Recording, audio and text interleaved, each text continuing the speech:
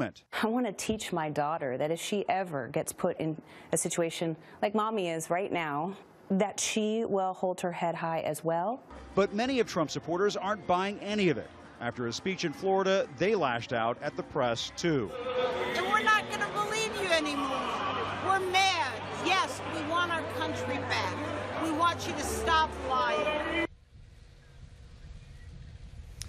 Now, Donald Trump said today he wants to stick to the issues in the final weeks of this campaign, Wolf. But I talked to a Trump campaign official earlier today who said they plan to respond to these latest allegations by having more Bill Clinton accusers come forward. And just to give you a sense as to what we're dealing with at these rallies, Wolf, one Donald Trump supporters left this sign on a press table uh, in the press pen. It shows a swastika and the word media.